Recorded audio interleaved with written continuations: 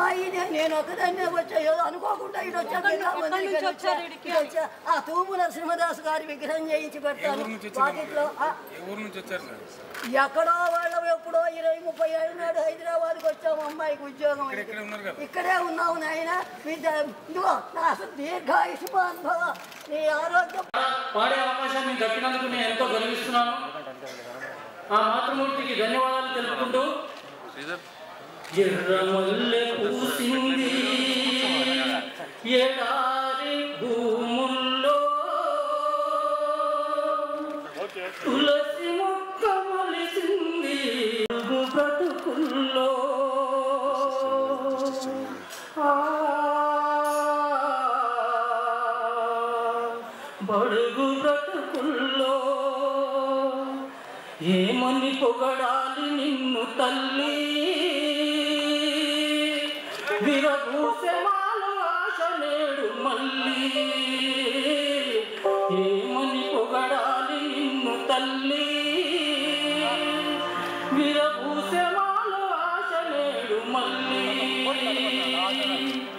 సామాన్య కుటుంబంలో జన్మించిన ఈశ్వరిబాయి జనం కోసం అంబేద్కర్ బాటలో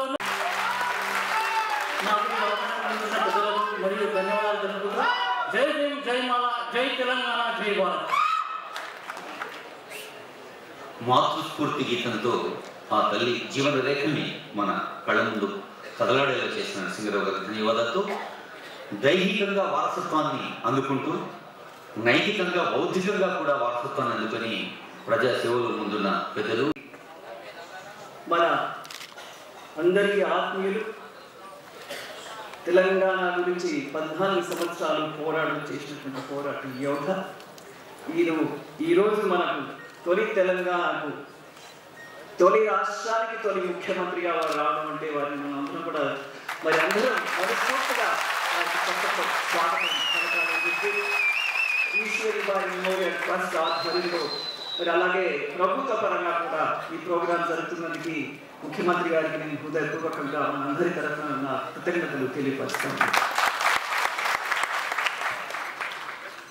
ఈ విషయం ఒకటి నేను అందరితో పాలు పంచుకోవాలని అనుకుంటాను ఎందుకంటే ఈరోజు అమ్మగారి వర్ధంతి మనం ప్రభుత్వ పరంగా చేసుకుంటున్నామంటే చిన్నగా ఒక ఇన్సిడెంట్ మీకు చెప్పాల్సింది. ప్రతి ఏటా ఆమె ఆమె అసలు తొంభై ఒకటిలో పరమపదించారు చిన్నగా ప్రోగ్రామ్స్ చేస్తూనే వస్తున్నాం నైన్టీ టూ నుంచి. నైన్టీ ఎయిట్ నుంచి మేము ఈశ్వరిబాయి మెమోరియల్ అవార్డు అని చెప్పి మరి మన జాతిలోనే ఎస్సీలు ఎస్టీలనే కాకుండా ఇతరులు కూడా ఈ అవార్డుని ఇస్తూ వస్తున్నాం. ఎవరైతే సమాజానికి మీరు ఒక సేవను అందించారు అలాంటి వాళ్ళకి మేము ఆమె పోరాటం ఎదుగుతున్నారు తెలంగాణ గురించి పోరాడి జైలుకు వెళ్ళి దెబ్బలు తిని ఉన్నటువంటి మహిళా మహిళ మరి ఆమెకి స- సరైన గుర్తింపు ఉమ్మడి రాష్ట్రంలో రాదు కదా.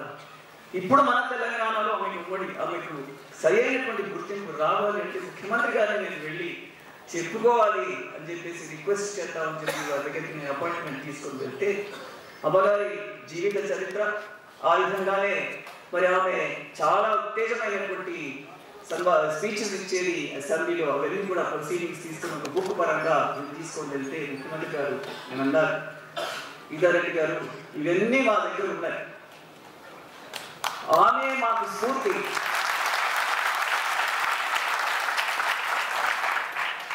నాకు ఇంగ్లీష్లో అన్నారు what Eswari Bai said in sixty nine the same thing he's been said by KCR ఇది అజిటేషన్ అని చెప్పి చెప్పడం మీరు ఆమె పట్ల అక్కడ ఉన్నటువంటి గౌరవానికి నా హృదయం నిజంగా ఆ రోజు చెల్లించిపోయింది ముఖ్యమంత్రి గారు.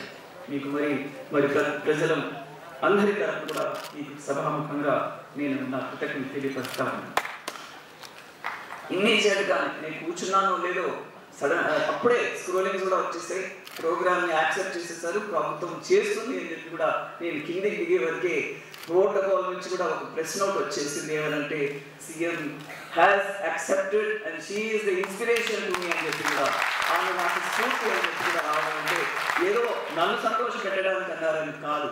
ఆయన మనస్ఫూర్తిగా ఆమె స్ఫూర్తి అని చెప్పేసి ఆ స్పీచెస్ చదివినటువంటి వ్యక్తి కాబట్టి ఓంగానే ఇన్స్టెంట్గా చాలా వరకు ఏం చేస్తాం మనం రాజకీయాల్లో? తప్పుకున్నామా ఆలోచిస్తాము. మీరు కొద్ది రోజులు ఉండండి ఆలోచించి చెప్తాము అది ఇది అంటారు. కానీ నథింగ్ ఇన్స్టెంట్ ఇమ్మీడియట్ స్పాంటేనియస్ కాబట్టి చేతులెత్తి మీకు నేను దండ పెట్టాలని ఆశిస్తున్నాను నేను కాంగ్రెస్లో ఉన్నానని చెప్పి మా అమ్మకు అన్యాయం జరగాలని లేకపోయినా తనకు తగిన గుర్తింపు రావాలి. దాని కొరకు నేను ముఖ్యమంత్రి గారి దగ్గరికి పోయి నేను తప్పకుండా నేను వారిని రిక్వెస్ట్ చేసుకుంటాను. అవసరమైతే వారితో కొట్లాడతాను కూడా అని చెప్పి అనుకున్నాను. అమ్మగారికి గుర్తింపు తప్పకుండా రావాలంటే నేను అసలు కొట్లాడమే కాదు. మరి వెళ్ళి. వెళ్ళినాకనే రీజన్ అలాంటిది ఒక దళిత కుటుంబంలో పుట్టినటువంటి వ్యక్తి ఎన్నో అవరోహ అన్నీ కూడా అధిగమించి తనదైన ఒక స్టైల్ స్టైల్లో పోరాడు తన శైలిలో పోరాడు మరి రెండు సార్లు కౌన్సిలర్గా ఉండి కాంగ్రెస్ వాళ్ళని ఓడించి కాంగ్రెస్ అప్పుడు కూడా తను కౌన్సిలర్గా ఉన్నారు ఫస్ట్ టూ ఎలక్షన్స్కు ఆ తర్వాత మళ్ళీ ఎమ్మెల్యేగా ఉన్నారు రెండుసార్లు అప్పుడు మంత్రిని శ్రీమతి సదాలక్ష్మి గారిని కూడా ఓడించి అసెంబ్లీకి రావడం జరిగింది. అప్పుడు ముఖ్యమంత్రి గారు పిలిపించి ముఖ్యమంత్రి గారు పిలిపించినందుకు ఒక మంత్రిని ఓడించి వచ్చాక పోరాడుతూ వచ్చిందో అంబేద్కర్గా ఉండ ఉండగలిగిందో ఆమె రిపబ్లికన్ పార్టీ ఆఫ్ ఇండియా ప్రెసిడెంట్గా కూడా చివరి రోజుల్లో president of republican party of India అంటే నేను ఎంతో గర్వంగా చెప్తాను. అసెంబ్లీలో ఉంటే రిపబ్లికన్ పార్టీ అంటే పెద్ద పార్టీ కాదు. ఆమెకు అంగబలం లేదు. గాడ్ ఫాదర్ గాడ్ మదర్ లేదు. ధనబలం లేదు. అయినా ఎలక్షన్స్ గెలుస్తూ వచ్చింది. ఎందుకంటే ప్రజల వాణి వినిపించేది అసెంబ్లీలో. ఇద్దరే ఇద్దరు ఉండేవారు అసెంబ్లీలో. రమణయ్య ఈస్ట్ గోదావరి నుంచి మా అమ్మగారు రిపబ్లికన్ పార్టీ రమణయ్య గారు కూడా ఆ అనారోగ్యం వలన ఆయన కూడా మరి పద- పదించిన తర్వాత అమ్మగారు ఒక్కరే ఒకరు వన్ ఉమ్మన్ కాదు వన్ మ్యాన్ ఆర్మీ అని చెప్పి అనేవారు ఈశ్వరిబాయి గారు. ఎప్పుడు మాట్లాడినా ముఖ్యమంత్రులు కూడా గడగడ లాగించేవారు. ఒకసారి బ్రహ్మానంద గారు కూడా అమ్మ ప్రోగ్రామ్ ఇలాగే చీఫ్ గెస్ట్గా వచ్చినప్పుడు ఆయన అన్నారు ఆమె నిలబడింది అసెంబ్లీలో ఉంటే మాకు భయం వేసేది. క్యాప్ ఎలా ఎలా తిప్పుకుంటూ కూర్చునే వాళ్ళంట. ఎప్పుడు కూడా నర్వస్ అయిపోతే బ్రహ్మానంద మనకి సమయం ఇస్తున్నారని చెప్పి చెప్తూ మరి మా ముఖ్యమంత్రి గారు ఎంత చెప్పినా తక్కువనే బికాస్ ఆయన ఏమన్నారు నాతో పార్టీ అంశంగా కూడా నేను పెడతాను ఆమె ప్రోగ్రామ్ చెప్పారు నేను అడగలేదు. పాఠ్యాంశంగా కూడా ఆమె ప్రోగ్రాం పెడతారు ఎందుకంటే మర్చిపోతారు వాటి గురించి. ఇట్లాంటి వాళ్ళ గురించి మర్చిపోతారు కాబట్టి మనం వారి హిస్టరీ కూడా పాఠ్యాంశాలు పెట్టారని చెప్పారు. మీరు అదే మూడ్లో ఉన్నారు ముఖ్యమంత్రి గారు. అమ్మ ప్రోగ్రాంకి వచ్చారు. ఇంతమంది అభిమానులు ఉన్నారు. మీరు వర్గంతే కాదు. మీతో నేను ఒక్కటే కోరేది. ఎలక్షన్ కోడ్ ఉంది. మీరన్నీ మాకు ఇప్పుడేమి కోరికలు తీర్చలేదు. అయినా కోరడం నా బాధ్యత. అందరి తరఫు నుంచి అందరూ నాకు చెప్పారు కూడా మీరు కోరండి అని చెప్పి. ఏమంటే జయంతి కూడా మీరే సార్ నిర్వహించాలి వర్ధంతి జయంతి కూడా తమరే నిర్వహించాలని ముఖ్యమంత్రి గారికి కోరుకుంటా ఉన్నాను. ఆ విధంగా ఇంకొక నాలుగు సంవత్సరాలు పోతే ఆమె సెంటినరీ సెలబ్రేషన్స్ వస్తాయి sir. Two thousand eighteen will be centenary celebrations.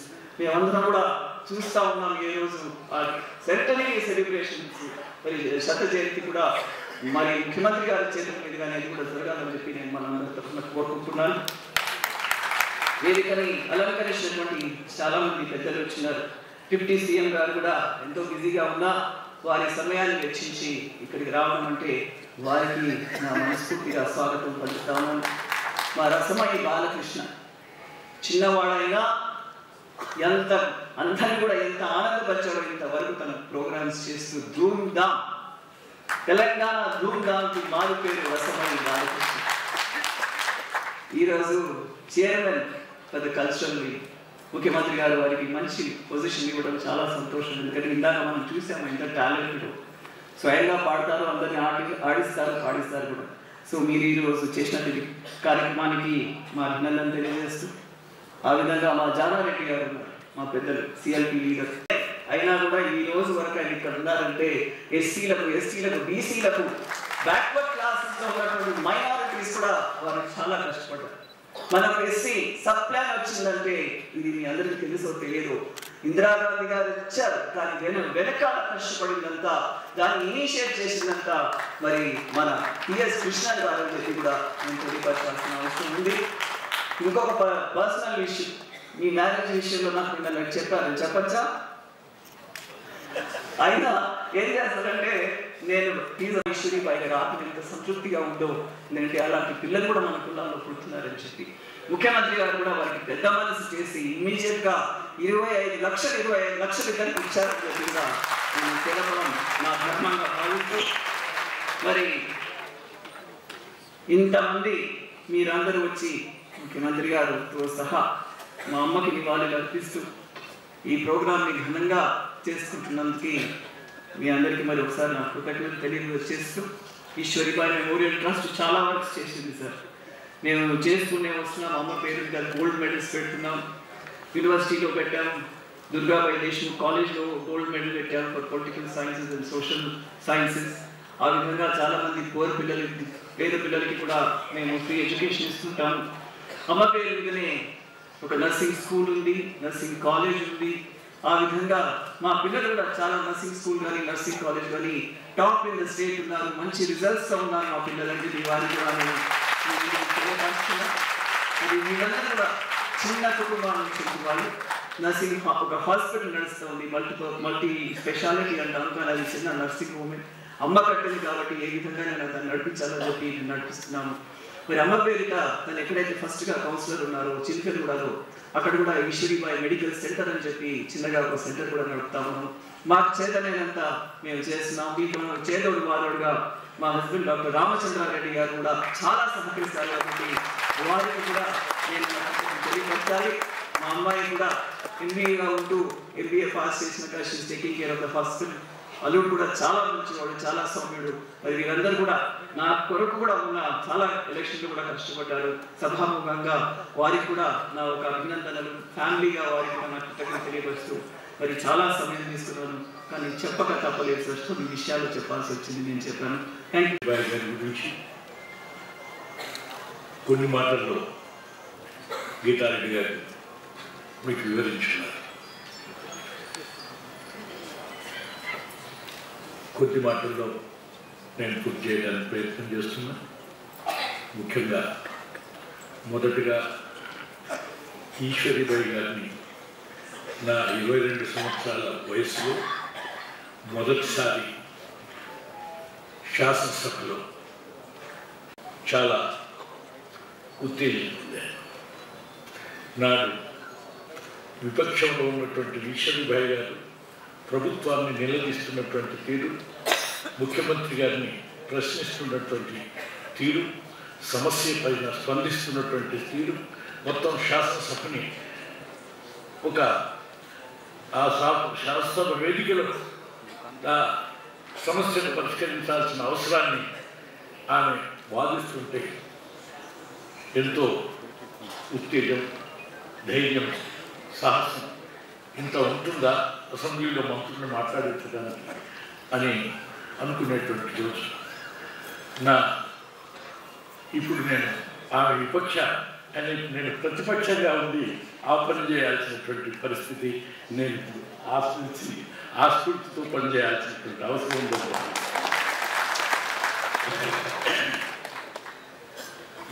ఆమె ప్రతిపక్ష నాయకురాలు కాదు విపక్షాల్లో ఒక వ్యక్తి కానీ ఇప్పుడు నేను పూర్తి పూర్తిగా ప్రతిపక్షంలో ఉండి పనిచేయాల్సినటువంటి అవసరం. అయినప్పటికీ వారి చేసినటువంటి సేవలు వివరించినటువంటి తీరు సమాజానికి ఆమె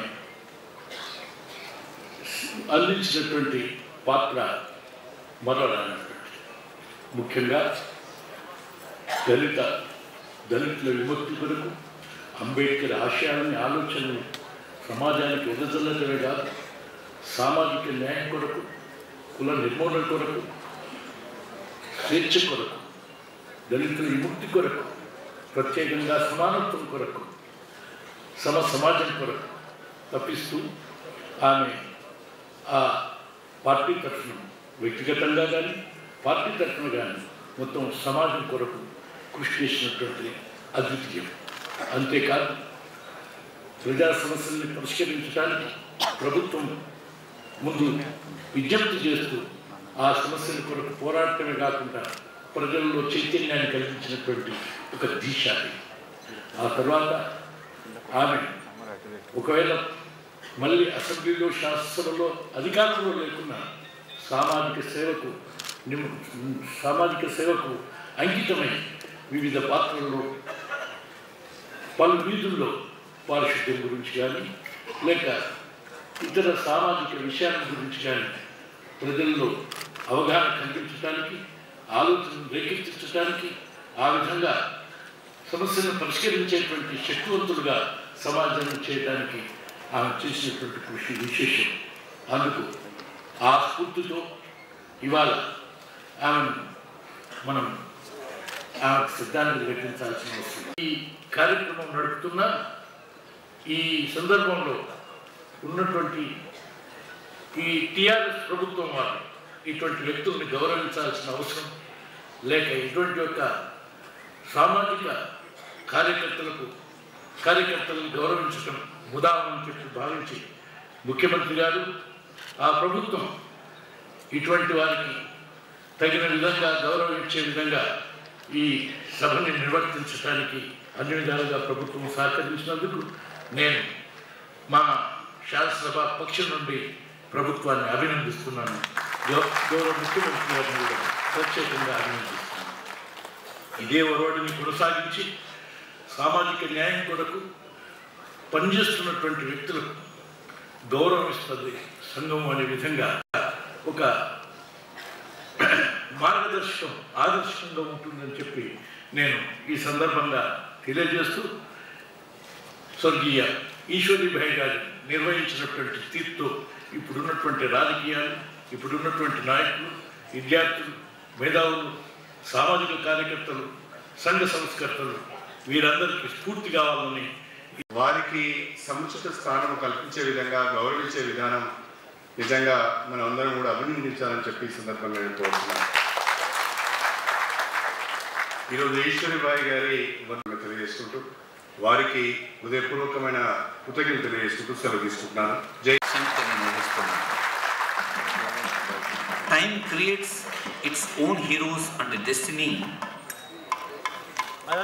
finds them for the better of the ఊకో నరేందర్ భాయ్ అన్నారు గౌరవనీయులైన పిఎస్ కృష్ణన్ గారు కేరళ తిరువనంతపురంలో జన్మించి పంతొమ్మిది వందల యాభై ఆరు పంతొమ్మిది వందల తొంభై మధ్య ఐఏఎస్ అధికారిగా మన ఖమ్మం జిల్లాలో సేవలందించి హైదరాబాద్లో సేవలందించి ఢిల్లీలో సేవలందించి ఎస్సీ ఎస్టీ బీసీ మైనారిటీల సామాజిక సమానత్వం కోసం నిరంతరం కృషి చేసి తండాలు పల్లెల్లో స్వయంగా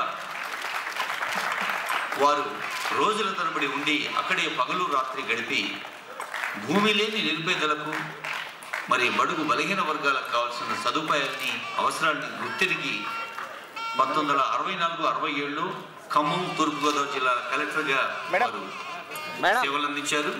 మరి ఆ రోజు వారు కలలు కన్నది ఇప్పుడు మన తెలంగాణ రాష్ట్ర ముఖ్యమంత్రి ఒక డిక్కీ గాని ఇతర సంస్థల ద్వారా తెలుసుకోవచ్చు. PS Krishna IAS and former secretary the government of India continues is battle for the downtrodden for the ఆశీర్వదిస్తున్నారు ముఖ్యమంత్రి వర్యులు Purna Anand.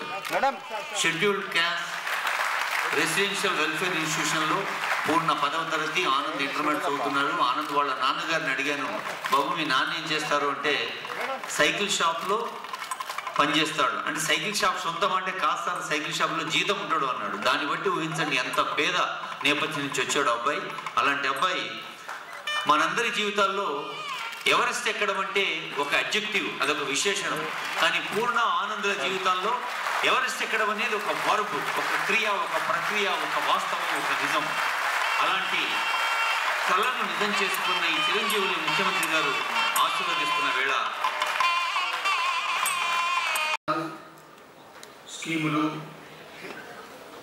ప్రణాళిక ప్రణాళికలు ఇవన్నీ రూపొందించాలనే ఉద్దేశంతో నేను చేస్తూ వచ్చాను. నేను రిటైర్ అయ్యి ఇరవై ఇరవై నాలుగు ఇరవై ఐదేళ్ళు అవుతున్నాయి. అదే బంధాలు చూస్తున్నాను. ఈశ్వరిబాయి గారి పేరుతో అనుబంధపడ్డం గౌరవం అనుకుంటున్నాను. నేను స్టేట్కి వచ్చినప్పుడు అప్పుడు కూడా ఈశ్వరి పేరు పైకి వచ్చింది.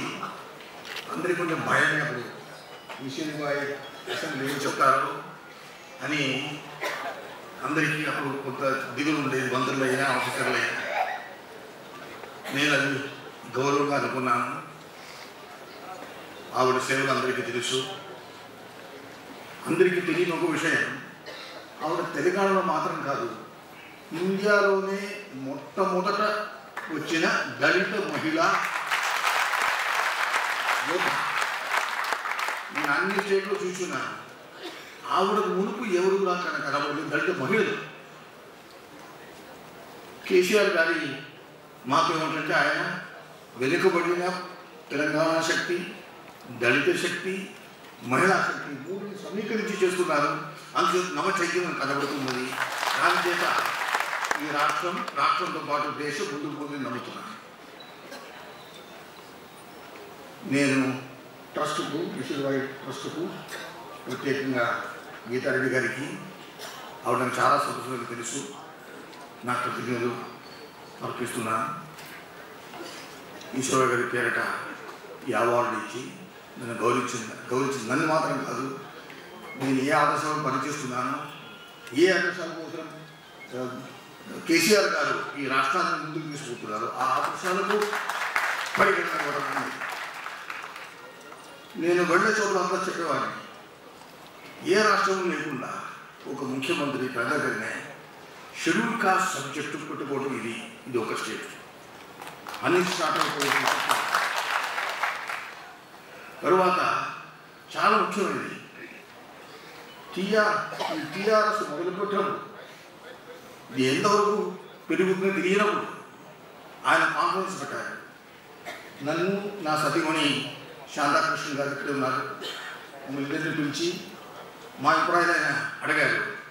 ఏమేమి చేయాలా దళితులకు ఆదివాసులకు అని రోజంతా ఆయన కూర్చున్నారు అది ఆయన ఆయనకు దీనిలో ఉండే శ్రద్ధకు కొత్తది కాదు. అప్పటి నుంచి ఉన్నది. తర్వాత ఆయన ముఖ్యంగా నాకు ఆకర్షణ కూర్చుంది. ప్రతి దళిత కుటుంబానికి మూడు ఎకరాలు అని పెట్టారు కానీ భూమి మాత్రం కొరకే చాలదు భగీరథుడు చేసేందుకు నీళ్ళు కూడా తీసుకురా ఇరిగేషన్ వెయ్యి కోట్లు పెట్టారు